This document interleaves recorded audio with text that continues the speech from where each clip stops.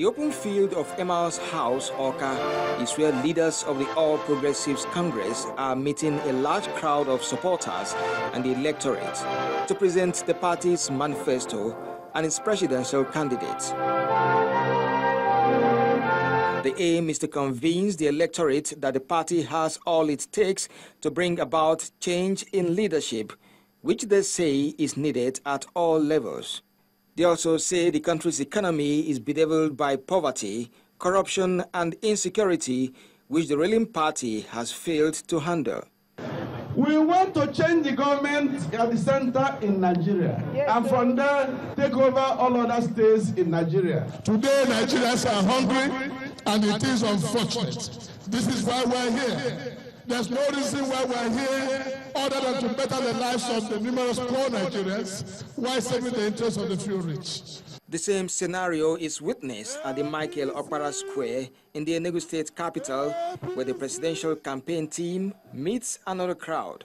Just like we are experiencing the failure of the PDP administration today, it is women who suffer but the APC government is telling you that a government of General Muhammadu Buhari, God willing, shall give an empowerment scheme, an empowerment strategy, an empowerment to all the Igbo women and the women of this country. We need a leader who can be decisive, who knows what to do and when to do it. And with that, we will have security in the country as we had in the past. And that is when investment will come, industries will come, our markets will be rich, and our people will produce. Have you not supported the PDP government for 16 years? We have. The question I ask, therefore, and I want you to answer. What have you got for it? The party presents its presidential candidates. What we need from you is to make sure you get your PVCs, permanent voters cards.